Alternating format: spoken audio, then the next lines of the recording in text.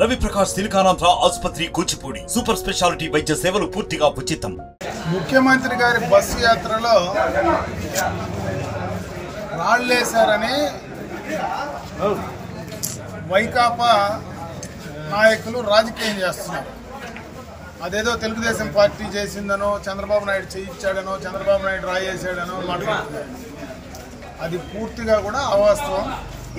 Telugu Desam party ఎప్పుడు కూడా ఇటువంటి నీచమైనటువంటి పనులు చేయదు చేసే వాళ్ళని ఎంకరేజ్ చేయదు ఈ డ్రామాలు ఆడడం జగన్మోహన్ రెడ్డి గారికి అలవాటే. గత పద్నాలుగు ఎన్నికల్లో చూసాం పంతొమ్మిది ఎన్నికల్లో చూసాం ఈరోజు ఇరవై నాలుగు ఎన్నికల్లో చూస్తున్నాం.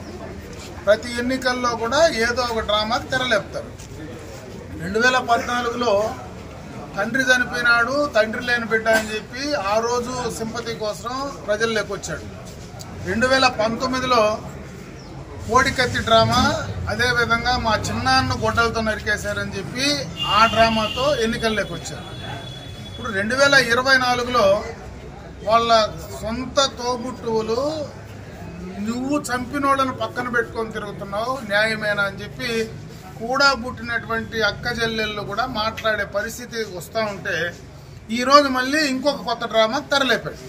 అంటే సీఎం సెక్యూరిటీకి మామూలుగానే ఆయన వస్తే రోడ్డు అంతా కూడా పరదాలు కడతారు.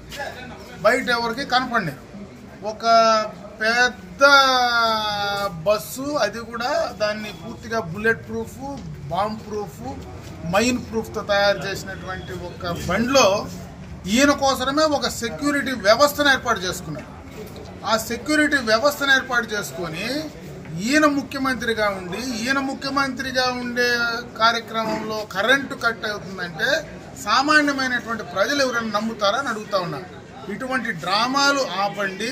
తెలుగుదేశం పార్టీ ఎప్పుడు కూడా ఇటువంటి నీచమైనటువంటి పనులు. మీరు ఏ రకంగా ఐదు సంవత్సరాల్లో నీచాతి నీచమైన కార్యక్రమాలు చేశారో అటువంటి నీచమైన కార్యక్రమాలు తెలుగుదేశం పార్టీ ఎప్పుడూ చెయ్యదని చెప్పి తెలియజేసుకుంటున్నా. ఇకనైనా ప్రజలు గమనిస్తున్నారు కాబట్టి బుద్ధిగా ప్రజలకు ఏం చెప్పాలనో అది చెప్పండి కానీ బట్టగాల్చి మొగానేసే కార్యక్రమం చేయొద్దని చెప్పి నేను తెలియజేస్తాను మరిన్ని వీడియోస్ కోసం ఛానల్ సబ్స్క్రైబ్ చేయండి. లేటెస్ట్ అప్డేట్స్ కోసం వాట్సాప్ ఛానల్ ఫాలో చేయండి.